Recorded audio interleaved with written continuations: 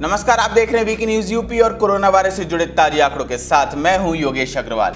Corona महामारी ने पूरे देश की हालत बद से बदतर कर दी है। सबसे बुरा हाल उत्तर प्रदेश, मध्य प्रदेश और महाराष्ट्र का है, जहाँ स्थिति पूरी तरह से बिगड़ चुकी है। स्वास्थ्य सेवाएँ पूरी तरह से चरमरा गई हैं। ऐसे में अब केंद्र सरकार और राज्य सरकार इस संक्रमण से बचने के लिए हर दिन नए फैसले ले रही हैं। ऐसा ही एक फैसला मोदी सरकार ने दो दिन पहले लिया था। मोदी सरकार ने 18 साल से ऊपर के लोगों को वैक्सीन लगाने का फैसला लिया था।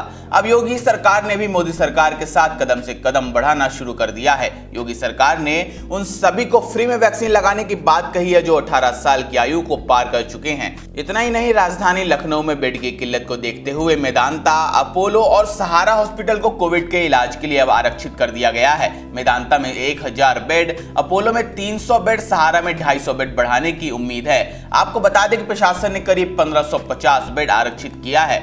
चलिए आपको बिना देरी किए पिछले 24 घंटे में आए कोरोना वायरस के आंकड़े बताते हैं। उत्तर प्रदेश में कोरोना संक्रमण के पिछले 24 घंटों में आए आंकड़ों के मुताबिक 20 अप्रैल 2021 को यानी कल कुल एक लोगों ने कोरोना वायरस के कारण अपनी जान गंवाई। पिछले 24 घंटों में कुल उनतीस नए कोरोना वायरस के मामले सामने आए हैं। इसी दौरान कुल चौदह लोग ठीक होकर घर वापस जा चुके हैं। अगर हम अभी तक आए कुल आंकड़ों की बात करें तो अभी तक मरने वालों का आंकड़ा कुल दस पहुँच गया है। मतलब कि दस लोग अपनी जान इस खतरनाक वायरस से गवा चुके हैं। कोरोना वायरस से ठीक होकर अब तक कुल छह लाख पचहत्तर हज़ार सात सौ दो मरीज़ घर वापस जा चुके हैं।